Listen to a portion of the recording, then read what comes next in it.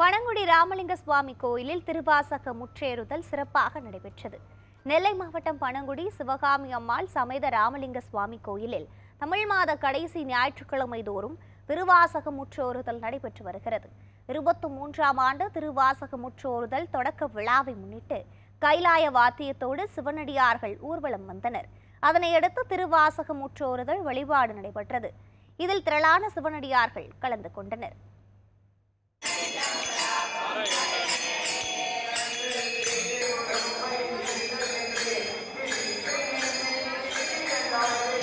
Thank